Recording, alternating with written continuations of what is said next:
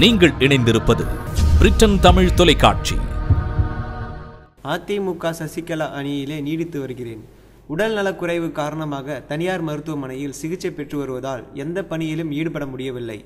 நெல்லை மருத்துவமனையில் சிகிச்சை பெற்று வரும் மாநிலங்களவை உறுப்பினர் முத்துக்கருப்பன் செய்தியாளர்களிடம் தகவல் அளித்துள்ளார்.